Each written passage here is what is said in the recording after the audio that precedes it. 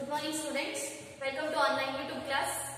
In last class we have discussed about the topics, some topics in chapter prehistoric society. We have uh, seen the meaning of prehistoric society. Prehistoric society means uh, before writing history. Society before writing history. That is prehistoric society. In history we have uh, three periods, right?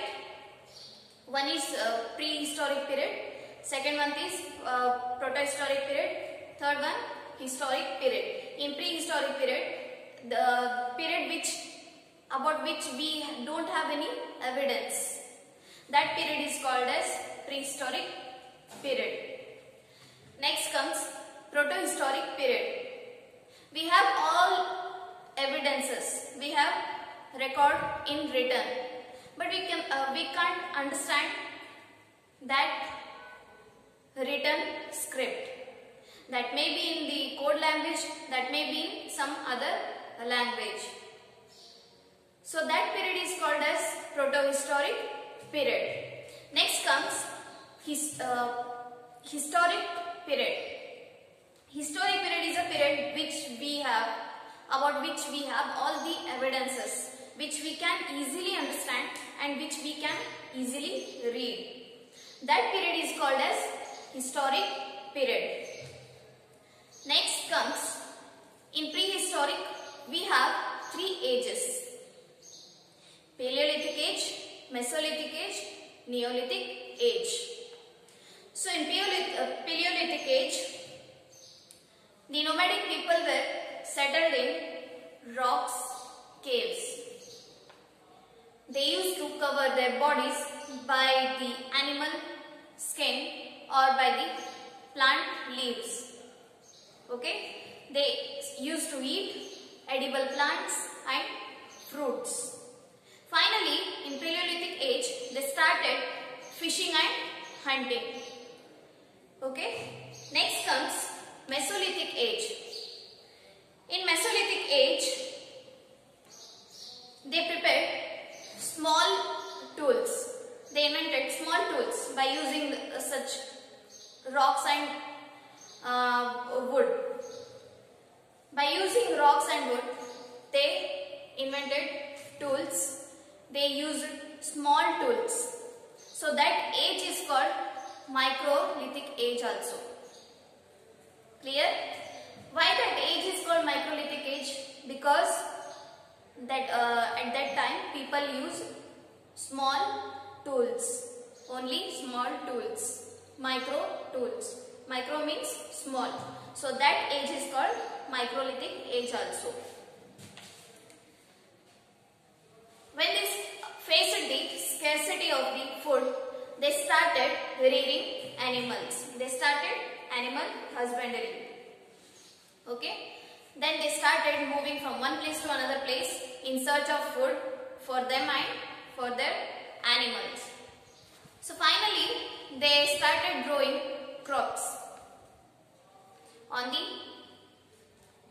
alluvial soil on the river banks. They settled one at one place and they started growing crops and they uh, used to store the store those grains and eat. Next comes Neolithic age. So in Neolithic age, people started producing their own food. They started cultivating crops. Clear? Next, this is all about the Neolithic age. In Neolithic age, they started producing uh, their own food. They started cultivating crops. Next comes Metal age. Next comes Metal age. So we have three main ages in prehistoric period those are Paleolithic age, Mesolithic age, Neolithic age. In next comes metal age. This is separate. Okay. The use of metal began by the end of Neolithic period. The first metal that the human beings used was copper. The first metal human beings used was copper. Then the people of metal age learned producing bronze by mixing tin and copper. They started producing some other metal by mixing tin and copper. They started producing bronze by mixing tin and copper. Bronze is an alloy and it is harder than copper. So in this age, metal age, they started producing, they started using metal. They started producing bronze by using uh, tin and copper. Next comes copper and bronze stone age. As the quantity of copper and bronze tools were tools was very low, stone weapons were continued to be used along with them. So at that time they used both metals and stone tools. Okay. Therefore this period is a therefore this period is called as copper and bronze stone age. That's why that uh, period is known as copper and bronze stone age. This age began about 5000 years ago. Agriculture and cattle rearing were the prime occupation. What was their prime occupation? Agriculturing and cattle rearing. Designed pots manufactured by using wheels belong to this age. They also manufactured designed pots by using wheel. Copper implements and jewelry have been found. Bronze implement were helpful for deep cultivation of land and for the uh, converse, conversion of forest land into cultivated land. So, they used bronze, bronze tools for cultivation of the land.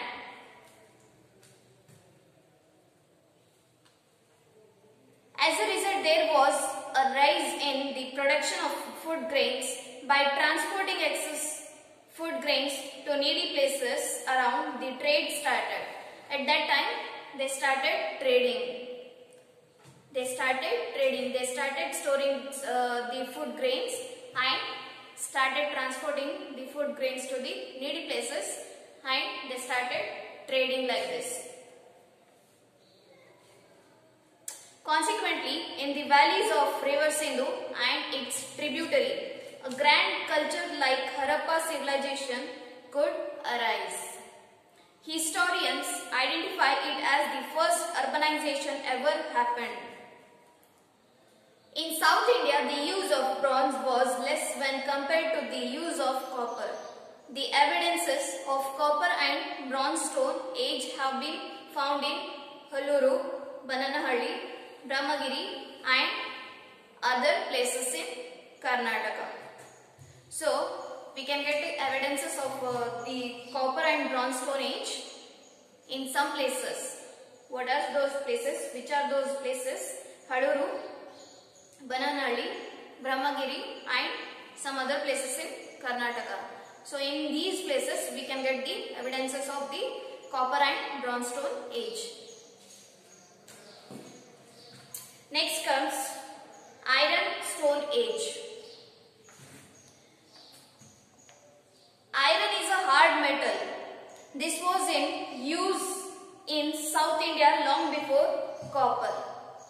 In South India, it was in use as early as some 3500 years ago. This is called as the prime of grand stone culture.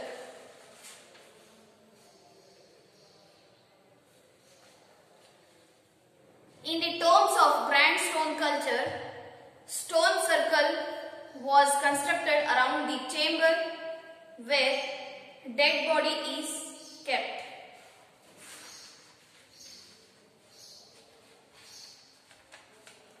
Okay. What they did? They started constructing a tombs. Tombs, stone circle was constructed around the chamber where dead body, dead bodies are kept. Red and black colored pots were commonly placed in such chambers. Beside of that dead body, they used to keep uh, small uh, red and black colored pots also. In Karnataka, common people call it as hut, uh, hut or houses of Pandavas, stone of Mayoras. Okay. They used to keep uh, the dead bodies in the chambers and place the red and black pots. So, uh, because that is some their belief that they will be having some wishes so they used to keep those pots beside that uh, dead body okay? At that time they used to live in the huts and houses. At that time those huts, huts were called as hut or houses of pandavas. Iron weapons and implements were helpful in agriculture and handicraft. As the use of iron increased in North India, agrarian activities geared up. Thus, there was surplus yield. Some 2600 years ago, the class which controlled surplus yield emerged as ruling class. They were the republic state. Thereafter, Nanda Maurya Empire became prominent. After this, Nanda Maurya Empire becomes prominent. Important sites in Karnataka that belongs to Iron Age are Bananalli, Hirebenakallu, Brahmagiri, Koppa, Hegadahalli, T. Narsipura, Hemige, Hallur Jadiganahalli Savanadurga durga pandavara dinne etc. So these were the Karnataka which belong to the Iron Age. So this is all about the Iron Stone Age. Okay. Next we will discuss about the question answers or last part. I will write on the board. Go through it.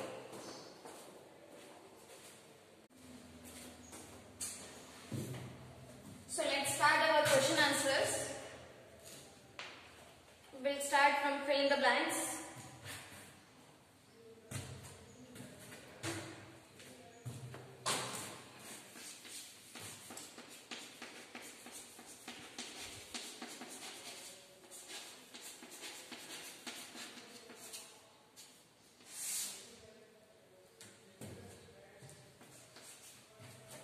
The period without writing or script is known as dash period.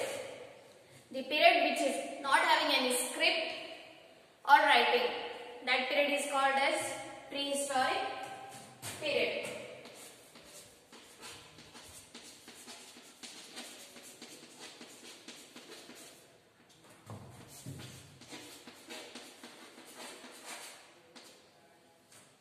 Prehistoric period.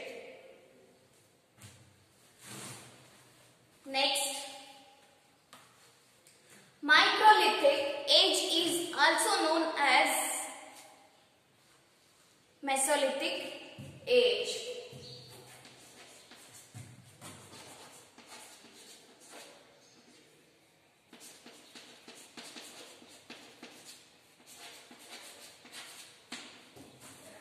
This is your second answer. Microlithic age is also known as Mesolithic age. Third one, earlier evidences of agriculture have been found in dash part of Indian subcontinent. So earlier evidences of agriculture have been found in the Mehergarh of Pakistan.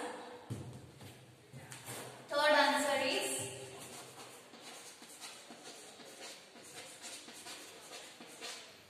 Mehergarh.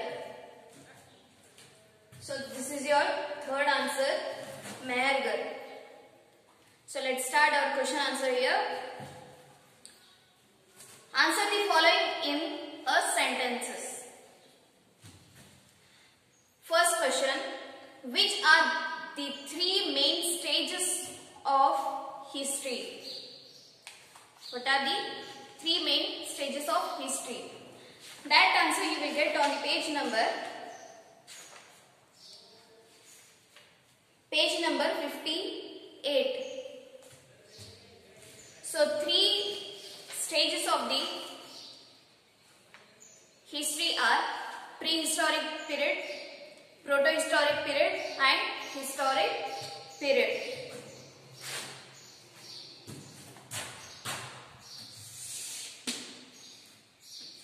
First answer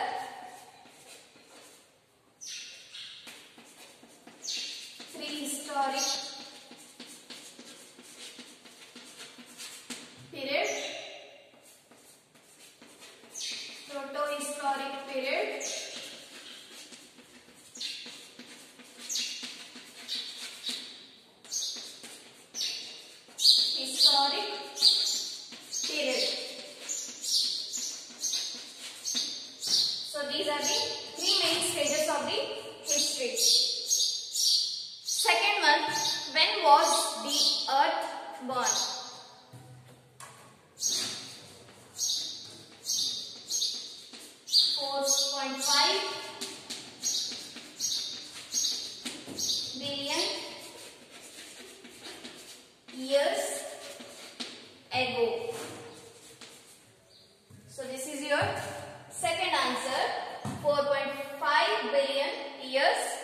ago. Next third question why the Mesolithic age is called age is also called as microlithic age.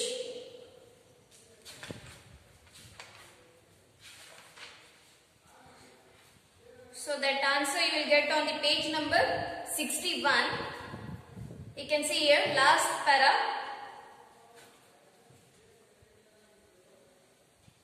During this period, second line, last para second line, during this period human beings started using small tools that were more efficient than the bigger one.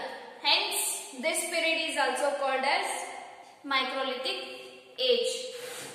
So this is your third answer. Okay. This is on the page number 61. Last para.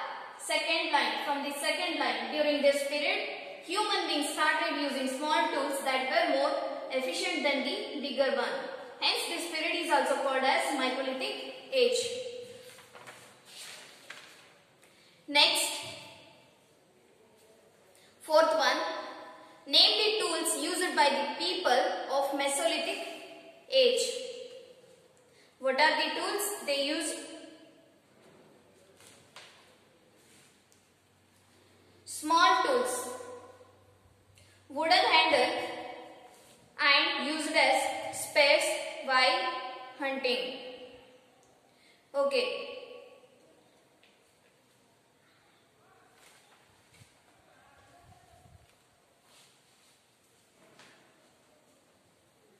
Page number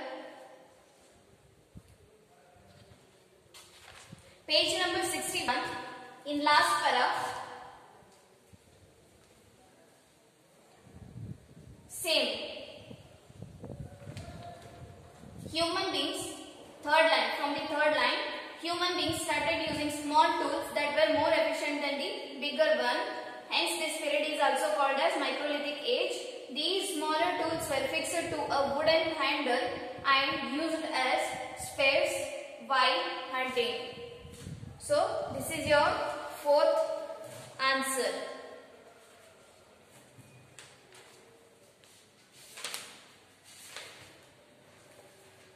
Fifth one, in which age did people start agriculture? In which age the people start agriculture? The people started agriculturing in the age uh, Neolithic age. So that age is called Neolithic age.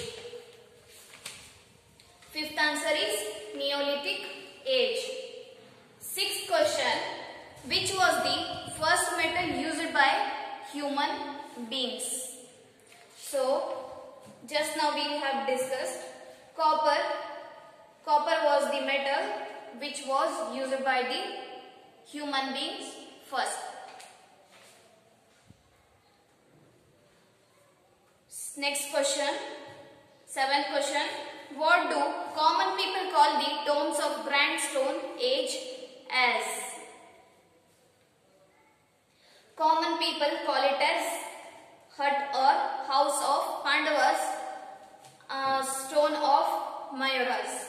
This is on the page number 66, first para.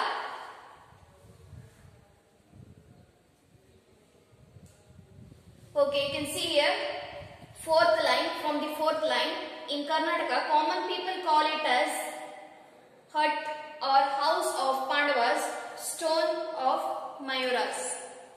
This is on the page number 66. This is your seventh question's answer. Next last question, eighth question. Name the important places of Grand Stone Age in Karnataka. This answer you will get on the page number 66, last para, last line. You can see here from the last third line. Bananali, Hirebenekkanallu, Brahmagiri Koppa Heggadahalli T Narasipura Hemmige Hallur Jedigenahalli Savanadurga Huthridurga Pandavara Dinne etcetera so these are the places in Karnataka which belong to the iron age. So this is your eighth answer. This is on the 66 page number, last line. So next is discuss in groups and answer. You have to discuss in group and answer these questions. First question, which are the factors that initiated the practice of agriculture in Neolithic age? You have to write those factors which initiated the agriculture in Neolithic age. So you, can, you will get the answer. Some, some hints you will get in the page, on the page number 62 in Neolithic age. Next, second question. What changes occurred with the introduction of iron during the iron age what are the changes occurred what are the changes you see uh, after inventing the iron during iron age that you have to discuss and write okay so these are the question answers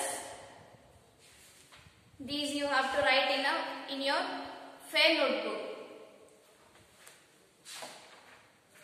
okay so all these question answers I will send on your WhatsApp group. So you have to write neatly in your fair notebook. Thank you.